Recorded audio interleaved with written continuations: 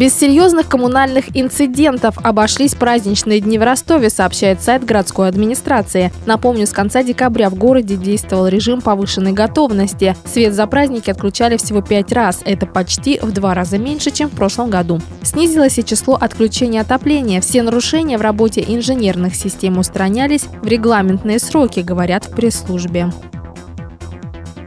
35 многоквартирных домов капитально отремонтируют в Ростове за этот год. Об этом сообщает сайт городской администрации. Предварительный список уже определен. По информации городских властей, список не окончательный. И в дальнейшем возможно дополнительное включение домов в план.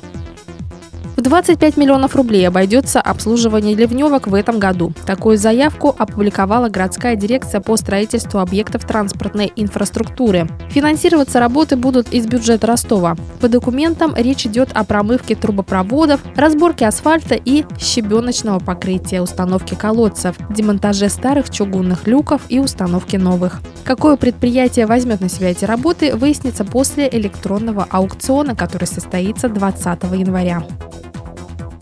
В два раза увеличат поддержку виноградарства донские власти. В новом году на эту сферу выделят до 40 миллионов рублей. Об этом рассказала замминистра сельского хозяйства области Ольга Горбанева. Деньги на возрождение виноградарства на Дону выделяются из областного и федерального бюджетов. Эту миссию чиновники планируют осуществить за 8 лет.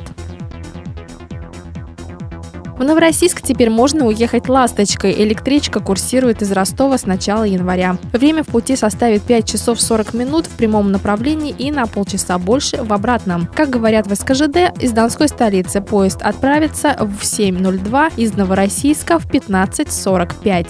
Маршрут создан на основе уже существующего Ростов-Краснодар. В таком режиме «Ласточка» будет ходить до конца апреля.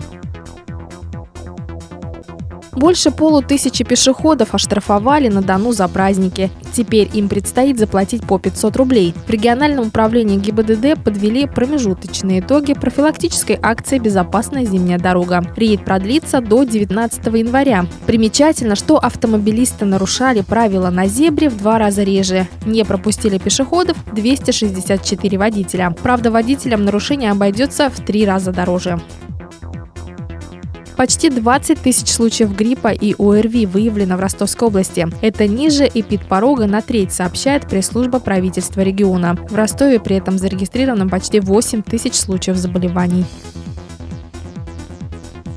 Сразу две строчки потеряла Ростовская область в экологическом рейтинге регионов. Его составили аналитики общественной организации «Зеленый патруль». На место региона в списке влияют природоохранный, промышленно-экологический и социально-экологический индексы. Лидером рейтинга стала Тамбовская область.